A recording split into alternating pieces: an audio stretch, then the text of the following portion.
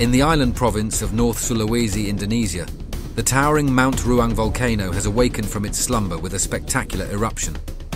Dramatic footage captures the awe-inspiring moment as the volcano's crater violently spews forth a massive column of ash and volcanic debris over 3,000 meters into the sky. But this eruption is made even more extraordinary by the appearance of volcanic lightning, brilliant electrical discharges crackling through the dense plume of ash particles. This rare phenomenon occurs when rising clouds of ash particles become charged with static electricity. As the searing hot ash billows upwards, it generates an atmospheric electrical field capable of producing volcanic electrical storms, with lightning bolts illuminating the swirling, ash-laden air. A simultaneously beautiful and terrifying natural force on display. Over 800 residents in surrounding villages have been evacuated to safety as a precaution.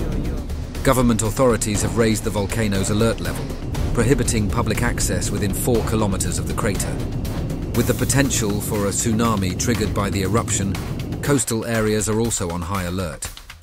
Mount Ruang, a stratovolcano formed by layers of hardened lava and fragmented ejections from previous eruptions, last saw major volcanic activity over 20 years ago in 2002. While majestic to witness from a distance, this awakening giant serves as a powerful reminder of the raw, untamable might of the forces shaping our living planet.